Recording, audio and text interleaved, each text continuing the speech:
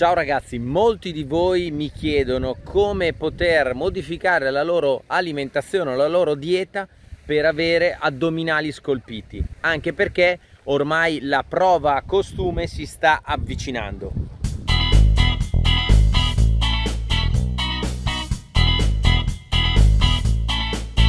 All'avvicinarsi dell'estate molto spesso mi viene fatta questa domanda e quindi io spesso rispondo che gli addominali si fanno a tavola. Certamente l'allenamento è estremamente importante, ma dall'altra parte non serve massacrarsi di addominali per cercare di avere la nostra tartaruga esposta gli addominali vanno allenati e li alleniamo ogni giorno nelle nostre attività quotidiane perché vengono sollecitati da qualsiasi attività che noi facciamo anche mentre deambuliamo normalmente. Dall'altra parte certamente fare degli esercizi specifici, quindi come i crunch, piuttosto che gli allenamenti basati sul core, ma anche degli allenamenti basati sull'ipertrofia ci possono aiutare a rafforzare e a sviluppare il nostro muscolo addominale e non solo. Certamente però come tutti gli altri muscoli vanno allenati e poi vanno fatti riposare se vogliamo che appunto la sindrome della supercompensazione poi faccia il suo corso e possa migliorare la situazione. Quindi assolutamente usiamo gli attrezzi che troviamo nelle palestre, nella palestra all'aperto come questo, facciamo gli addominali, diamogli il giusto recupero, ma ricordiamoci che gli addominali si fanno a tavola. Per avere gli addominali visibili, ognuno di noi ha la propria conformazione e questo ci deve far pensare, ci dobbiamo ricordare che non è detto che anche avendo la giusta composizione corporea e sicuramente avendo allenato gli addominali per forza dobbiamo avere eh, la, la, tartaruga bene in evidenza. Ognuno di noi è fatto alla sua maniera. Ma sicuramente la prima cosa che dobbiamo cercare di fare è ridurre lo strato adiposo che è sopra il nostro muscolo dell'addome quindi dobbiamo fare del nostro meglio a tavola.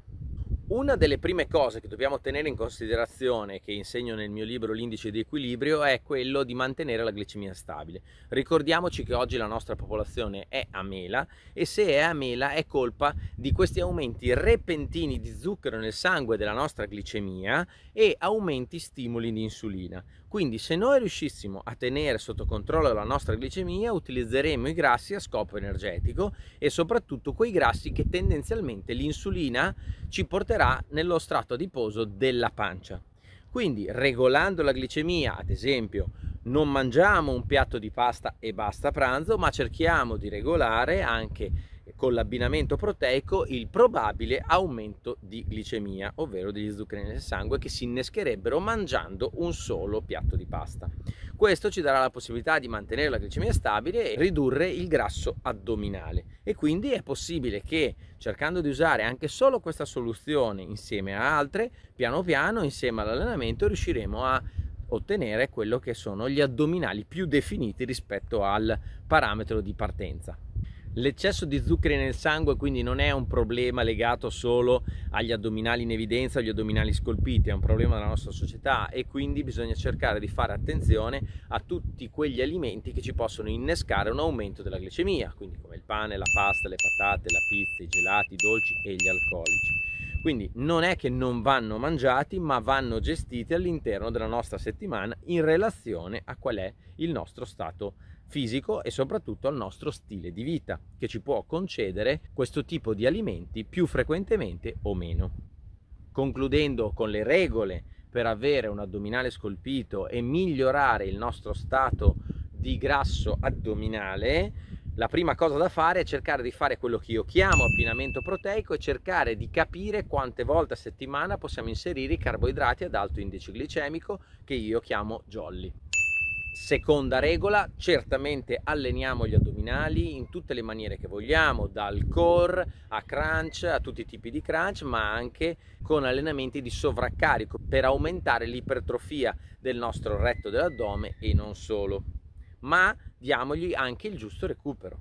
Favorire il consumo di verdura e anche in minima quantità di frutta, ma privilegiare il consumo di verdura di stagione bere molta acqua e, se possibile, limitare l'uso di alcolici. Limitare anche il consumo di legumi può essere utile per limitare anche il gonfiore intestinale dato dai processi digestivi di questo alimento. quando utilizziamo i carboidrati ad alta densità, che io chiamo jolly, cercare di privilegiare soprattutto quelli integrali e poco raffinati. Questo sicuramente sarà di aiuto.